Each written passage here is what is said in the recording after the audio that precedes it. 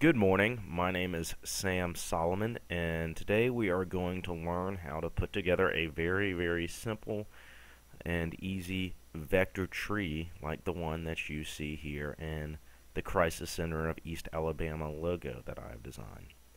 Alright, so let's get started. So we're going to build it in Adobe Illustrator and this is just a 500 pixel by 500 pixel spread.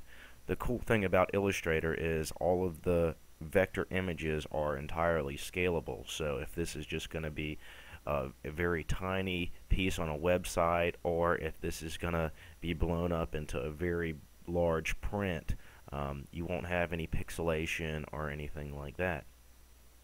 Alright, so we're going to start by selecting our rectangle tool and we've got a brown. This is going to be the base. This is basically going to be our trunk of our tree and this will be I guess kind of an oak tree because it's going to be short and very bushy.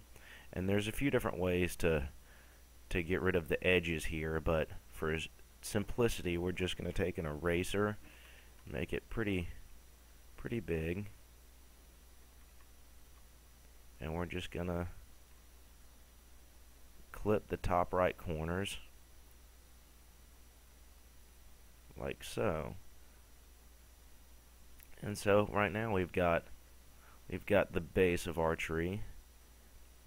But now we have to to actually make the leaves. So what we're gonna do is draw a little circle and hold shift. Decent size. We've got about a hundred pixel circle there. And we'll give it kind of a dark dark green for the time being. That looks pretty good. What we're gonna do to make kind of the bushy part of our tree just control C copy and paste. Oh, and paste. And we're going to kind of this this trick also works really really well when you're trying to put together vector clouds. We're just going to kind of spread these these circles out.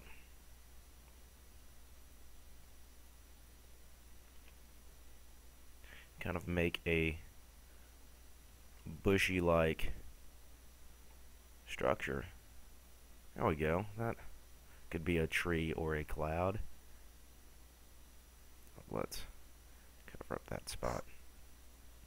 Alright, now that you've got this cluster of circles, what we're going to do is go to Pathfinder.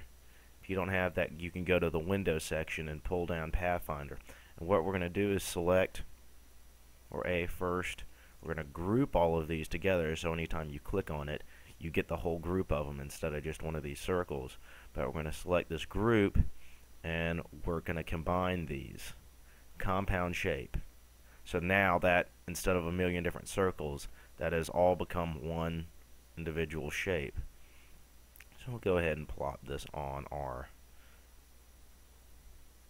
on our there we go.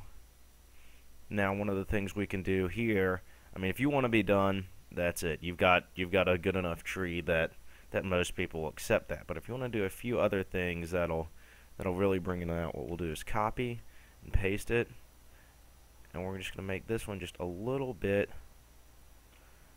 Let's say a little bit up and a little bit to the left of the normal tree. Now we're going to select this and we're going to go to gradients. And I have got one kind of pre-selected, but we're going to do something like that. On the left side, we'll do a, that's too dark. We'll do a, a darker color. Let's see, maybe we can go one lighter.